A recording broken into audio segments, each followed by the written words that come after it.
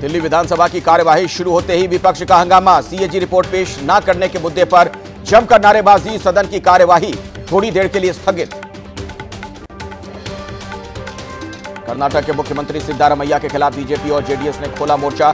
इस्तीफे की मांग को लेकर विधानसभा परिसर में किया जोरदार प्रदर्शन। बारिश और मौसम को देखते हुए प्रधानमंत्री मोदी का आज का महाराष्ट्र दौरा रद्द। पुणे में बाईस हज़ार छह सौ करोड़ रुपए की कई परियोजनाओं का शिलान्यास करने वाले थे पीएम। आज देर रात मुंबई में होगी महायुति की अहम बैठक। बैठक में सीएम ने एकनाथ शिंदे और दोनों डेप्यूटी सीएम रहेंगे मौजूद। बैठक में फंसी हुई 90 सीटों पर होगी चर्चा। हरियाणा के बीजेपी कार्यकर्ताओं को कुछ देर में प्रधानमंत्री मोदी देंगे जीत का मंत्र। नमो ऐप के ज़रिए पार्टी कार्यकर्ताओं को करेंगे संबोधित। आज से हरियाणा में चुनावी रैलियों की शुरुआत करेंगे राहुल गांधी। करनाल ज़िले की असंध विधानसभा सीट और हिसार की बरवाला सीट में करेंगे सभाएँ। केंद्रीय गृह मंत्री अमित शाह आज जम्मू और कश्मीर में करेंगे पाँच चुनावी जनसभाएँ। चेनानी उधमपुर, बानी और जसरोटा में बीजेपी उम्मीदवारों के लिए मांगेंगे वोट। यूपी के होटल ढाबों में नेम प्लेट लगाने के सरकार के आदेश को मायावती ने बताया ध्यान भटकाने वाला फैसला। एक्स पर पोस्ट कर किया सवाल, पूछा, नाम लिखवाने से खत्म हो जाएगी मिलावट? बिहार में योगी मॉडल की डिमांड, बीजेपी नेता प्रेम रंजन पटेल ने यूपी की तर्ज पर बिहार में भी। लव जिहाद के खिलाफ ठोस कानून बनाने की मांग की, यूपी में उम्र कैद तक की सजा का प्रावधान है। पटना में चोरी के दो आरोपी की पीट पीट कर हत्या, ट्रांसफार्मर रिपेयरिंग गोदाम में चोरी करने गए थे दोनों, दुकान मालिक सहित चार लोग गिरफ़्तार।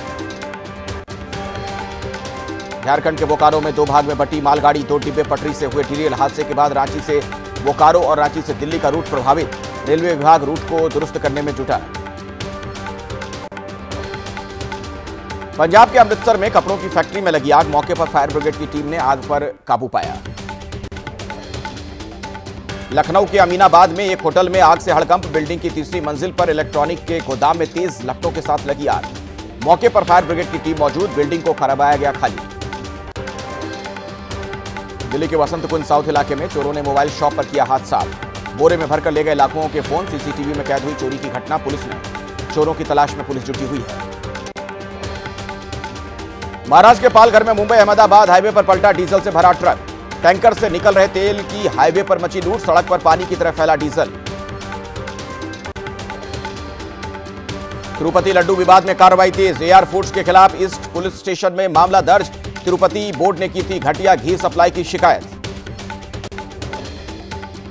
तिरुमाला मंदिर में अर्चना सेवा के दौरान तेलंगाना के गवर्नर जिष्णु देव शर्मा ने किए भगवान के दर्शन, राजस्थान के मंत्री संजय शर्मा भी तिरुमाला मंदिर पहुँचे। जगनमोहन रेड्डी की तिरुमला यात्रा से पहले शुरू हुई सियासत। बीजेपी ने कहा, यात्रा से पहले अपनी धार्मिक आस्था घोषित करें जगन। प्रसादम विवाद के बाद जगन रेड्डी को घेरने में जुटी बीजेपी।